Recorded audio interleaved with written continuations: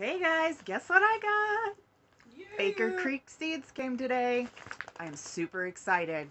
So this year we ordered like twice the amount of seeds that we usually order or like ever need because Baker Creek ran a fundraiser to um, help Ukrainian refugees um, for humanitarian aid to help them with food, shelter, water, that kind of thing. Um, they raised $1.6 million. 100% of the proceeds of the seed sales went to uh, the, the humanitarian aid. So here we go. We're going to open this up, and there's a couple of surprise seed packets in here, but I'm going to show you what we got. Here we go. Better have my hot peppers. we do. We do.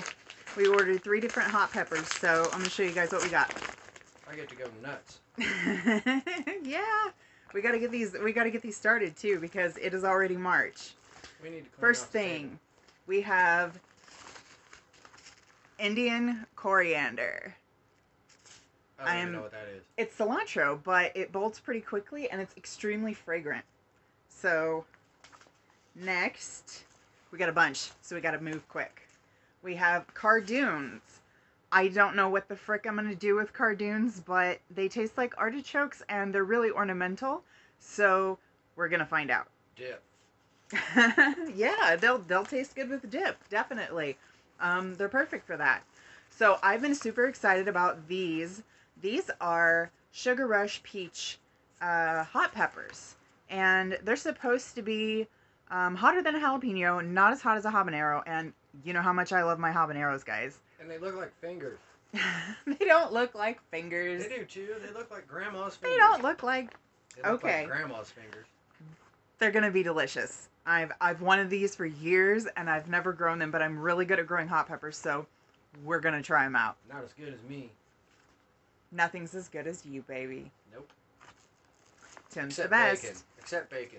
Bacon's better than I miss bacon. Don't make me sad. I won't make you sad. Okay, so here we go. We have a Chinese cabbage. This is a Napa style cabbage. Um, this kind is Hilton, which is a variety I haven't grown before. It's fairly small. It only takes up one square foot, so I'll be able to grow plenty of it. Uh, check it out. Vegeta killed Napa. okay, here we go. We've got some some bouquet dill. Um, so I'll be using this one for my pickles. Yeah, yeah. Don't wait. Mm-hmm. Definitely growing some uh, growing some pickles. Growing pickles. yeah, we're gonna grow pickles. Oh my god, if they came Making some pickles. Right, pre-pickled. they wouldn't come out of the garden. They'd never make it past the garden. We'd be out there eating them straight from the dirt. Yum yum. Why do that anyway? Right, well, yeah. Uh, I mean, whatever makes it past the garden anyway. It's good. It's lucky to make it to the hose, right? Okay, so here we have some uh, Pacific Beauty Mix Calendula, and not only. not only is this gorgeous, but it helps trap aphids away from some of our other edibles. It's edible, it's medicinal, and um, And they keep the ants busy. Okay. Yeah, it does. It, it keeps the ants busy. They're they're busy farming aphids on on our flowers instead of farming them on our other vegetables. So, um I love this mix. It's my favorite. They are pretty. They are pretty. Caligula is. They pretty. smell good too. Okay, here we have some lemon bee balm. This one smells a little less medicinal than um, the the typical um, bee balm, which is you know wild bergamot. Um, it actually grows wild here in Missouri. This is a little bit more uh, ornamental um, and fragrant. So uh, we're growing this for the hummingbirds and the butterflies and the bees, but we're also growing it, keeps it the bees for happy. They don't. They don't uh, sting us. it does keep the bees happy, but we're growing it for tea for us and maybe the hummingbirds you. because you know we love the hummingbirds. I'm not making tea out of a hummingbird. no, we're not making tea out of hummingbirds. Thank you, Tim, for your input. And this is one of my favorite squashes to grow here because we have a huge issue with squash bugs and squash vine, vine borer. Um, So gray squash is a little bit, it grows quickly, and it's a little bit more resistant to squash vine borer. Um, the, the vine itself is firmer, and um, the the zucchini itself, they're they're nice little tender fruits. Um, they get they get about yay big when they're when they're ready and ripe. Um, they can they can get big just like any zucchini, but they get about this big when they're ready, and it only takes a couple of days. Just boom like that, and they're really prolific. Um, we love them. I grew them last year, and I mean, our our vine actually got infected. Um, I, I cut them. I cut the bud. I cut the larva out, and uh, we still had problems with it, but it was a champ. It kept going and kept going and kept going for a couple of months after that. We had so many squash. We had no. Oh my goodness. What what's next? What's next? A surprise seed. We're gonna. What's a surprise seed? Oh my gosh. Japanese wasabi radishes. Yeah, Oh boy. Yes. So wasabi. check this out. Oh snap! Japanese wasabi radishes. I wanted to order this, and I was like, I gotta stop. I gotta stop. This is too much. The universe provides indeed. Um, so I've never grown this one. I Uh, really wanted to. I I, love myself some spicy radishes. I want to be in charge of the radishes. Okay, these are Tim's radishes. He gets to be in charge. Gank. We always grow a few kinds of radishes every year. Um, so th- that's that's Tim's little project. He loves to grow variety. So here we go. We're gonna try them. Thank you, Baker Creek. Wasabi. You granted my wishes. All right. Lots more to go. Here we go. Uh, we have sugar magnolia tendril peas. And this is a purple sugar snap pea. Tentacles. I've never grown them before. They're a fairly new uh, variety, but I'm excited. They're they they look really cool. So We we're gonna do it. tentacles last year too. tentacles. Okay, next. Ground cherries, New Hanover. These are supposed to be a little sweeter than your usual variety. So um, they taste kind of like uh, pineapple with a little bit of um, a wild aftertaste. They're related to tomatoes and eggplants and things like that. Um, and um, and tomatillos. They're all um, You can eat them raw, right? yeah yeah you can you can eat these raw. You don't have to cook That them. means there's They're all uh, while we're out there nightshade family plants though. So That means they're snacks they're they're there all getting stolen. everything else. Yes, they are snacks. They never make it into the house. So I got something I've been wanting to grow uh, for years. I grow okra every year, but I got Jing Orange this time. Um, this one is an Asian variety, and it, it grows big six inch pods that, that bear pretty early, but they're a, they're a reddish orange instead of green or purple. You've seen purple okra, right? So here we go. Or if you haven't. that- Beep. Oh, sorry. Beep. Yep. We're gonna have to cut that one. Okay, so here we go. Here's my my baby chocolate habaneros.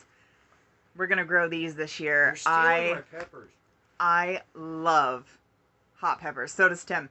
Um, I absolutely adore hot peppers, and Tim's gonna be doing a lot of the, a lot of the gardening anyway. So I say they're mine, but they're they're gonna be Tim's babies I get to play in that. because I yeah you see I don't uh I don't get to do a lot of the things I'd love to do. Um I did this uh Tim breathed and it fell out. So yeah. Loads of fun. Okay, so here we go. It looks like this is a free packet of I don't know what. Oh. No, this is one of mine. Tokinashi uh, turnips. They're a little tiny white turnip. It doesn't show the picture on the packet, but it's a it's a little white turnip that is mild. It's an Asian turnip. They're delicious. Um, I like to cook with them. I Like like to put them in, in beef stew and what whatnot. Like turnips Um, and radishes had a baby. Yeah, yeah, they're they're almost radishy. Now here is some free seed. Um, I'm not. Oh, Tim's gonna love this. What It's another hot pepper. We have datil um, hot peppers, capsicum chinense. It's a blazing hot little uh, orange yellow hot pepper, and it's a vicious heat kind of pepper. I'm So gonna have to use gloves this year. yeah, definitely. We're gonna blast Tim's face off. That's hard to do. This is like my level of heat hot pepper. You Hey. know, uh, I'm no slouch. habaneros are habaneros are my ketchup. So Yes. this is this is gonna be fun. Uh, I'm I'm hot is ghost pepper to me. That's like my hot sauce. So Ghost pepper is the way to I'm go. so excited. Ghost pepper is the way. Definitely. Here are the sunflowers that I ordered Ah, to plant. They're protest. fantasia. protest. I'm gonna grow this. I'm gonna grow those. We're gonna grow every one of these. and they're gonna be huge. They they're they're gonna be um, they're actually a fairly short uh, plant. They they don't get like super super tall. But if they get like six foot tall, But- that means I was feeding them the. We're gonna grow them as big as they go. So these are for Ukraine. These are for you, Ukrainians. Woo, woo. We we are in solidarity with you. Um, Putin, yeah. go go suck a toe. You're an absolute cabbage. Put these in your pockets. What's next? Did What get my- is did I next? get my Carolina Reapers. These are Black King pansies. I love black flowers. I'm totally going to grow a goth garden someday when I have more room. Um, my landlady loves me to death. I get to grow whatever I want, pretty much wherever I want. She just wants a pretty yard, so um, yeah. The upstairs to- neighbors don't care. I get the yard. We have the prettiest So yard. we're gonna have black flowers this year for salads and and, nobody pretties. messes with our stuff. Yeah, nobody ever messes with it. You know, you think we don't have a fence or anything. Everybody's like, "Ooh, pretty yard. What's that? What's that?" Ooh, that So- looks like an apple. Let's eat it. Nobody eats anything. We should plant stuff. So like we bought some um, Munstead strain lavender, which is a cold hardy lavender that will grow perennially in our zone. We are 6B where we're at. So uh, we're in this little pocket. Um, so I'm excited to grow this. We've we've got lots to. Is there more? There's tons more. Really? Uh huh. So this year, black nebula carrots. We are going to grow the darkest carrot there is. These are the most purple carrot you can buy. It will stain you like beets do. So beets and carrots had to be. no, they don't taste like beets. Okay. The 18 jours. This is a very fast growing uh, carrot. It's named, uh, it's, it's a French type carrot. It's an heirloom. In ideal conditions, it grows, like its name states, in 18 days. It's Missouri. It's not going to grow in 18 days, but it'll grow in less than a month. We're happy to grow it. We love radishes.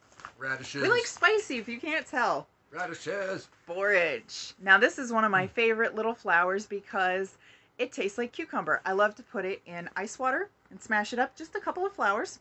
Um, too many, it tastes like something I'd rather not mention. But it tastes like cucumbers. Here's something new I'm going to try. Lemon basil.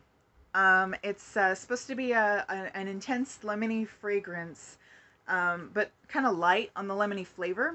They use a lot in Asian cuisines, especially Thai, Vietnamese, things like that, where you might use um, Thai basil. That would go in Um, goodness. so- That would go good on a roast. Mm. As a rub. Ooh, yeah, that would go good As on a a roast. rub. Definitely. So we've got some dino kale, as it's called, the Nero di Toscana. As you tell, I don't speak Italian or French. I wish I knew. I Um, wish I knew. but this is an Italian heirloom. It dates back to the 1820s, and it's it's like a black green, and they get huge and they get really tall. They start looking like palm trees. Um, it just keeps going and going until it gets really hot, and it's fantastic for kale chips. It kind of looks like a We, palm tree. we use we use cashew butter and um, nutritional yeast and a couple other ingredients, bell, uh, red bell peppers, and we make amazing tasting nacho cheese flavored kale chips. There's no cheese, actual cheese or anything in it, but it totally tastes like it. It is Even I like them. even even my um, carnivorous, omnivorous, uh, meat loving, cheese loving uh, partner in crime here, Tim. He loves these. So don't worry if you're not vegetarian, if you're not vegan. it still tastes amazing. Yes. So, moving on, we have lemon balm, but this is something completely different. I've never seen this before. It's mandarina lemon balm, and it's supposed to taste like an orange. Um, and it's perennial in our zone, uh, zones four to nine. It's infused with the scent and flavor of mandarin orange. It's uh, ground crawling lemon balm, so it's supposed to be um, kind of like a ground cover it, it it only gets six to twelve inches, so you couldn't really use it like a lawn cover or anything. But it'd be great in um, flower beds for in between some of your flowers to fill kind of fill in those spaces, make that that really good garden fragrance and amazing tea, and it still has the medicinal properties that lemon balm does. So we are not done yet. I know we're not done yet. oh, Uh, I'm not talking to you, Tim. I'm talking I to my friends here. I'm talking to you. I am going to go have a cigarette, so if you come across any kick butt peppers, put them back and wait for me. Okay, I will. And quit smoking. It's terrible for you. So next we have lime basil. I grow lots of basil every year, several different varieties. I still have a few more to buy. I'm gonna get some purple basil, opal basil like I always do, but I ran out of time. I had to make it under the wire before midnight, and I made it two minutes and ten seconds to go. Twins So- basil. Twins basil. Okay, we have lime basil, and it's kind of the same idea as lemon basil, but this is amazing, amazing in pad thai and um, you know, uh, Thai dishes, Vietnamese dishes. Perfect. I am going to have so much fun with this one. Okay, we have lemongrass again with the Southeast Asian food. I love I love Southeast Asian food. I can't help myself. It is delish. Um, check it. I love growing this stuff. It makes a beautiful, beautiful landscaping plant. It doesn't always come back in this growing zone, unfortunately, but that's okay. You can always save some, put it back in the fridge. If you baby it, you might be able, if you keep the roots on and everything, or keep it in water, keep keep a piece in the water over the overwinter it. You might be able to put it back out, and it'll reroot and it'll grow a whole new plant. So, okay, next we've got Chioggia beets. And this is an old Italian heirloom. Check them out. They look like a bullseye, and they're a lot sweeter than just regular, um, your regular red beets. They are almost as sweet as a white sugar beet. They're delicious. They're they are the candy of the earth. My my kiddo loves them. I've never seen a kid who would eat beets. This kid that's their favorite vegetable. I swear. I swear it on my life. Beets are this child's favorite vegetable. And this is why. Okay, next we have beans, Blauhild beans. And they are a flat German heirloom that is tolerant to mosaic virus. Check these out. Um, they're they're they're like green beans, um, except they're purple. So I'm gonna have a very colorful garden this year, orange and purple, and um, red, and just lots. Well, lots of orange and purple. Really, I love purple plants. Black, just yeah, just give me the color. Here we have my favorite flower. This one has my heart. Nasturtiums. You can eat them. You can pickle the seeds like capers. I got the tall trailing mix. I trellis these. They love to grow everywhere. And these are the ones that really put out the seeds. Um, check it. This is a multicolor mix. So you kind of get a little bit of everything. And when you save the seeds and grow them, they'll they'll cross pollinate. They'll make new colors. Nasturtiums they'll carry uh, dormant genes and express new colors all the time when they when they breed like this. They usually don't go sterile either. They'll just keep they'll keep going and it's They're really just colorful, weird flowers. sometimes you'll get frills after a couple of generations and I mean just they're just We amazing and the the the leaves the leaves They they look like lily pads. I could go on forever. Hyper focus. It's just, yeah. This is my favorite flower. And the vines on this kind, they get huge. So I'm excited. I'm beyond excited. They're very pretty. They are. They are pretty. So I'm growing these. They're a breadseed type poppy. This is frosted salmon. And this year, this is this is kind of a happy sad thing because I'm gonna grow these because I need seeds for bread for my gluten-free bread. Um, I make an artisan bread, but also for uh, bagels. You know, putting on your food, whatever. Um, but also, there's been a lot of losses this year. I lost several friends. I just lost my neighbor uh, last night to COVID. We've we've lost several people to COVID and to other illnesses. Um, we lost a, a friend to cancer. Uh, we lost our landlord uh, to cancer. Um, so I'm planting poppies for the dead. And I decided to plant this beautiful ornamental poppy. So not only is it something uh, something gorgeous, but something functional, of course, too. Um, so we're we're gonna we're gonna plant it um, So many seeds. actually where we where we buried our our cat that we lost this year Yep. um, our beautiful Salic. He was a, a black cat that was um, he was my companion for 12 years. All right, moving on. Uh, we have our our least hot pepper, ancho peppers, um, also known as poblano peppers. Just check it. It's a regular. All right, so we started a new video. I talked on too long because we have so many seeds. Um, check this out we have we have a part 2 mhm, we do. We have a part two because i talk too much. Um we're almost done though. Pink celery. Check this out. It is a chinese celery. They come in white and pink. They're a little thinner than your uh, traditional celery that you think of. Um, but it's an eye-catching celery. It's so gorgeous. Uh, some people think it looks a little like rhubarb. Um, i think red celery looks more like rhubarb but opinions. People have them. Some people have wrong ones. It's whatever. It looks like rhubarb. but I think this one, and uh, the package agrees with me. I think it's like you know bubblegum pink. So, um, it's fun. Here we go. Um, purple lady bok choy. Check it out. Lots of purple vegetables.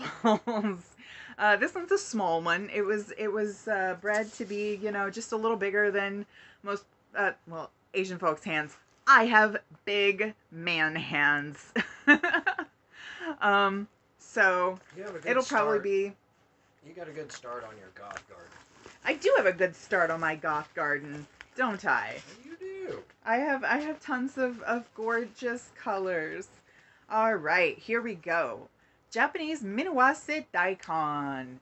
We grow daikon every year. Um, I haven't tried this variety, so we're gonna see how it goes. That's kind of a funny shape on there. Um, but these can get up to two feet long.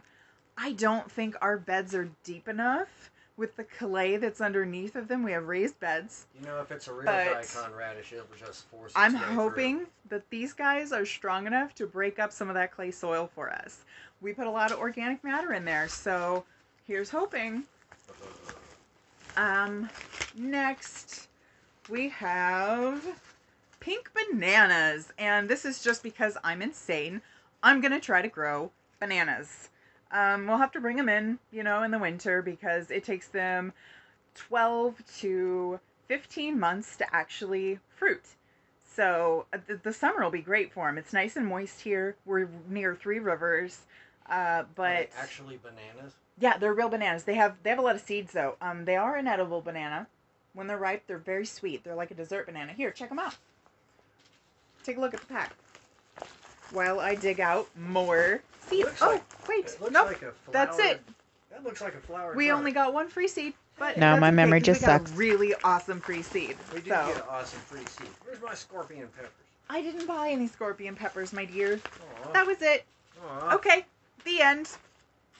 25 minutes of, of, of me talking on about all the seeds. But so this is my this is proof of my insanity and devotion to growing all the things. I I will grow all the things. Someday I am going to grow a vanilla planifolia plant, a vanilla orchid, and um, ferment my own vanilla beans just because I can. Hey, peace out, guys. Thanks for putting up with me in the background. Yep, that's it. That's all we got today. But I just wanted to show you um, the seeds and uh, what we what we ordered to put in our garden this year, and um, how how we helped uh, Ukraine. It the order ended up coming out to $109, which really that's not very much, but it's it's what we could do. And thanks for watching part one and two of the madness. Hopefully, you get to part two. yeah, hopefully you got. Hopefully we don't have to do this again. I hate Uh. making a take two. Peace.